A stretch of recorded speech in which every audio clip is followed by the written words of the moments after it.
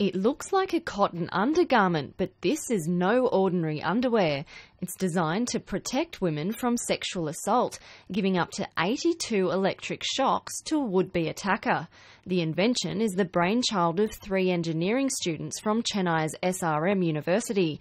Known as Society Harnessing Equipment, or SHE, it works by using sensors and a circuit board.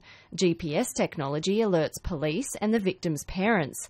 It follows the gang rape of a New Delhi woman on a bus last year that made international headlines.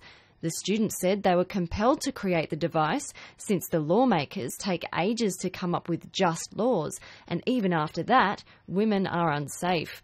The garment's inner side is insulated with a polymer to prevent the wearer from electric shock.